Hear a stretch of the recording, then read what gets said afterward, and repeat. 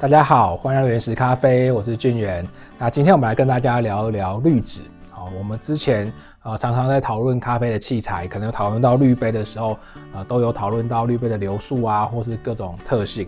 那其实滤纸是比较多朋友会忽略的一块，他可能觉得说，哎，我买了一个滤杯，那可能随便拿一张滤纸来用就可以了。当然以过滤来讲是都可以过滤，但是其实滤纸的效果对于咖啡的风味有很大的一个影响。我们今天就来详细的讨论一下，呃，到底该怎么去挑选滤纸啊？那滤纸的话，其实我自己现在比较常用的有两款哦。那第一款是这个 Kono 的石子滤纸，那这款滤纸的话，它的流速比较慢，那比较能够萃取出咖啡的。甜度跟厚实度，而且我觉得它过滤的效果会让咖啡有一种独特的滑顺感，我还蛮喜欢的。所以这张滤纸我自己是蛮常用的。那另外一个我很喜欢用的是这一张三洋的阿巴卡滤纸，哈，麻纤维的滤纸。那这张滤纸它的流速很快，那它可以制造出咖啡的干净度，啊，跟它清爽的风味。好，所以这张滤纸也是我蛮常用的滤纸。其实基本上我现在最常用的两张就是阿巴卡跟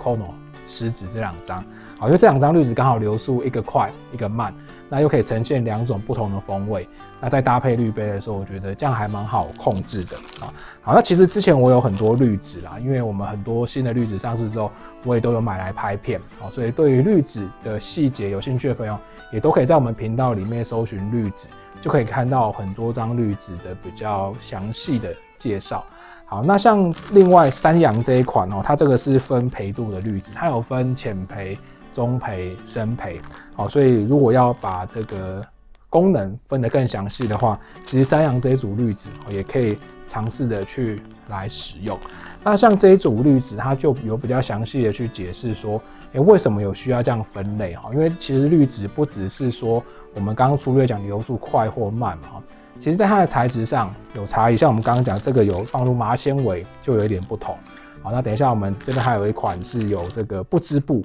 啊，不同的这样子的这个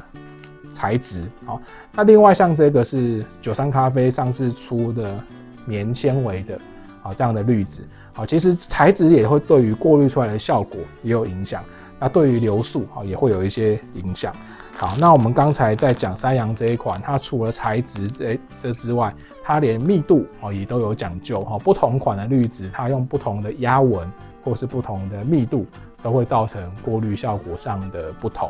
好，那另外比较明显的一个分别，像这个是我比较旧的，用 Hario 的这个无漂白的滤纸。好，那现在我们很多的滤纸看到都是漂白过的滤纸，那无漂白的滤纸其实它的纸味容易会比较重一点。好，所以有时候我们冲煮咖啡冲出来，呃，总是觉得会有一股呃特别的不属于咖啡的味道，哦，有点像纸浆木头的味道。其实这有的时候是滤纸上面哦它所残留的一个味道。好，在选择上面的话，像我自己大部分都会选择用这一个漂白过的滤纸。好，比较可以避免掉纸味的问题。那另外像材质上，好像这一个三洋的巴卡麻纤维滤纸，还有像之前我们呃有用过呃蓝瓶蓝瓶滤杯专用的那一个滤纸，啊，它是用竹纤维做的哈，它们都有特别去设计，让纸比较不会有纸张的味道，那也比较不会去影响到咖啡的风味。好，那我们这个刚才有讲到流速的差异嘛，哦所以我刚才已经有做一个。影片哈，就是我们用这两张不同的滤纸，然后冲煮同一个咖啡，尽量用同样的参数来冲冲看。那大家可以看一下，说它整个流速的差异就会有快慢的不同啊。那因为萃取时间的长跟短，就会造成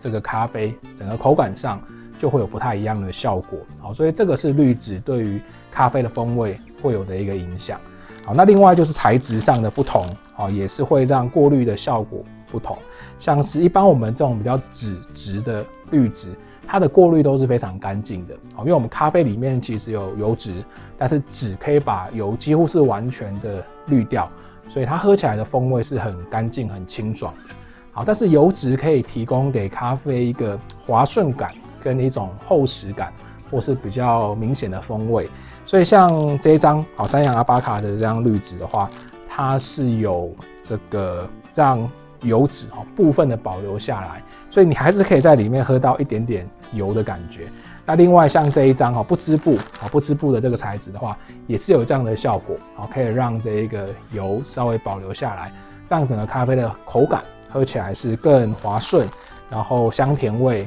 风味是更明显的。好，所以这是我们在选择咖啡滤纸上其实可以考量的点还蛮多的。好，那大家也可以依照你喜爱的风味去选择滤纸。好，所以像我们介绍过很多咖啡滤杯，那也有些朋友他觉得说他不想要呃买这么多滤杯，然后可能这个要花很多钱，或者说要很多地方来放这些滤杯，他觉得不是那么方便。那其实另外一种方式就是我们可能就固定用几个滤杯，但是你可以多买几款滤纸。好，那这样子你在换滤纸的时候，又可以给这个滤杯一个新的萃取效果。那这也是喜欢变化咖啡风味的朋友一个很好的。变化方式，好，那当我们在实际使用这个滤纸的时候，我们来跟大家聊一聊怎么样放滤纸会比较好啊。那我们在放滤纸的时候，其实要注意一点是，呃，像我们一般哈这种就是 V 型的滤杯搭配的滤纸，会有侧面会有一边啊是有个压纹压线的，那我们就顺着这个压线把它先折起来。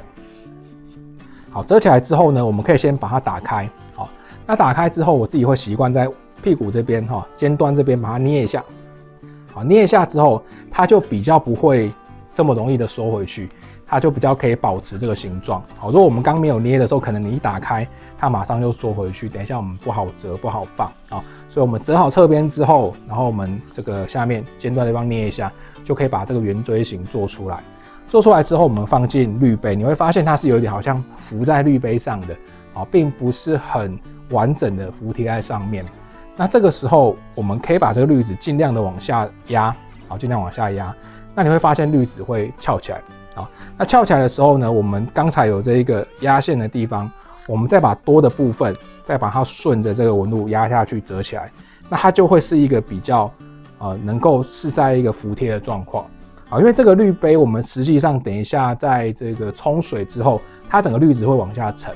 那沉下去之后，如果你原本的折线啊，是在没有沉下去的位置的话，你可能就会发现说，哎，这个滤纸怎么越冲越往下走，然后它本来服帖的地方就翘起来了，就让这个滤纸没有服帖住滤杯。哦，那我们在这个直接在放的时候，如果你直接先把它压到底的话，就可以避免掉说一边冲煮，然后滤纸一边下沉的这个问题。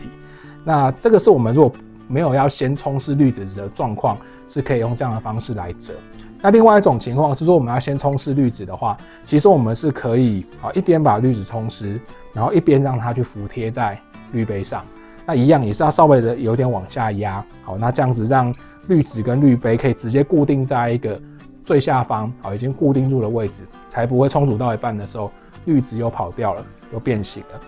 好，那对我自己而言，我觉得要不要先冲湿滤纸哈，主要是看说你有没有办法让滤纸。服贴滤杯，好，那当然有些人冲湿滤纸的原因是因为，像如果你尤其用这种无漂白的纸味很重的滤纸的话，可以像是一个冲洗的效果啦，好，把纸味先冲洗掉。但是像我自己现在在用的这几款漂白滤纸，我觉得那个纸味都很低，几乎不影响咖啡，好，所以我就不会因为这个原因而冲洗滤纸啊。但是冲洗滤纸的好处是它可以让纸好先软化。那我们就可以更确定说它有没有服贴在滤杯上，好，所以冲洗滤纸的话，其实呃，当然它有去味道的好处，也有固定位置的好处，但是就是要多一道程序，而且你要记得把那个水倒掉。那如果你已经很习惯这个滤杯，像 V 六零我很常用哈，我大概都知道说你折到什么位置它会刚好服贴的话，其实你直接折好，那你只要使用上过程当中哈，滤纸没有明显的翘起来变形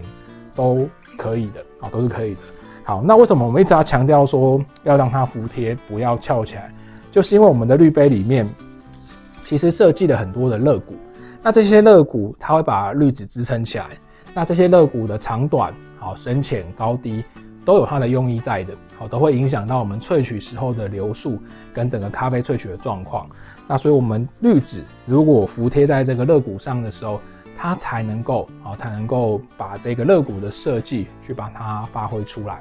那如果我们的滤纸是整个翘起来离开肋骨的，它其实就没有办法发挥出这个肋骨的效果。好，所以我们一直在强调说，我们希望滤纸能够很好的服贴滤杯的用意，就是在于说这个滤杯的设计它才能够很好的去把它展现出来。好，那我们所谓的服贴当然是由这个肋骨把滤纸撑起来啊，然后这个滤纸是服贴在肋骨上啊，并不是让它整个去贴在杯壁上啊，因为如果贴在杯壁上的话，其实就没有肋骨撑起来的效果了。好，所以我们希望的位置是滤纸是服贴在肋骨上的，让它撑出一个距离，好，不是直接贴在好杯壁上。那除非是有一些不同设计，像 Kono 的滤杯，或是没有肋骨。